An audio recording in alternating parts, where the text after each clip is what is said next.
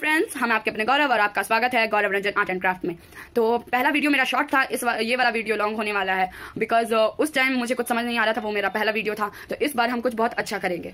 तो आज हम कुछ स्पेशल बनाने वाले हैं सीरियल महाकाली का चूड़ामणि बनाने वाले कौन सा चूड़ामणि? तो देवी लक्ष्मी का चूड़ामणि। तो कैसे बनाते हैं? चलिए आज हम आपको बताते हैं। आज हम इनके पीछे का ये जो आप देख रहे हैं ये बनाएँगे। तो इसको बनाने के लिए हमें बहुत सारे टाइम का भी ज़रूरत होगा उतने टाइम का नहीं लेकिन ज़रूरत होगा।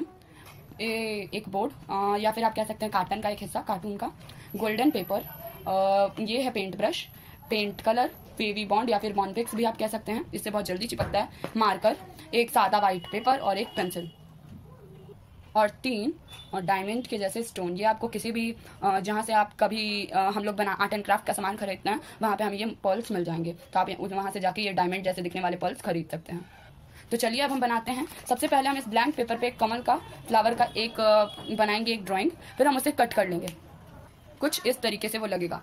फिर हम एक छोटे साइज़ का कमल बनाएँगे कुछ इस तरीके से। और फिर हम इन सबको एक कार्टन पे ड्रॉ करके उसे काट लेंगे।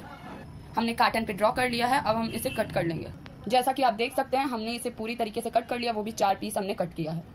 अब हम लोग गोल्डन पेपर पे इसी शेप का हम सब बनाएँगे, छोटे और बड़े साइज़ का कमल। हमने ये चार, हमने ये पाँच पीस गोल्डन कलर के पेपर पे हमने ये बना लिया है कमल और हमने इसे परमानेंट मार्क हमने इसे परमानेंट यानी डोम्स के परमानेंट मार्कर से अंडरलाइन कर दिया है। अब आप अपने सर के साइज़ का एक गोल सा बनाएँ और फिर उसके ऊपर से ड्रॉ करेंगे। फिर हम उसे कट कर लेंगे।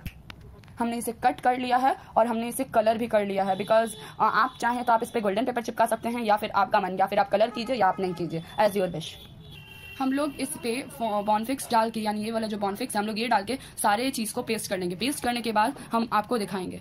अब आप ये देख सकते हैं, हमने पूरी तरीके से इसे पेस्ट कर लिया है। हमने ये मोटा कार्डबोर्ड पे मतलब हम लोग कार्टन से इसको काट के अब हम इस पे पेस्ट करने वाले हैं। तो कैसे पेस्ट करते हैं? चलिए आज हम आपको बताते हैं। हाँ तो अब हम इसे चिपकाते हैं। तो इस पे हम लोग पहले फेवी बॉन्ड डालेंगे। अब हम इसे चिपका देते हैं। हमने फेवी बॉन्ड लगा के अब इसे चिपका रहे हैं। देख देख सकते हैं आप जैसा कि। तो अब हम इस पे मोती चिपकाएँगे। छोटा छोटा मोती जो हमारे अब हम इस पे एक छोटा सा स्टोन यानी रेड कलर का स्टोन चिपका लेते हैं। स्टोन चिपक रहा है। हमें इसके दो हिस्सों और दो हिस्सों पे चिपकाना होगा। यहाँ पे जो दो हिस्से हैं, वहाँ पे। उसके रुको रुको रुको रुको रुको। तो आप जैसा कि देख सकते हैं, और हमारा ये कंप्लीट हो चुका है। तीन हमने रेड स्टोन्स डाल दिए हैं।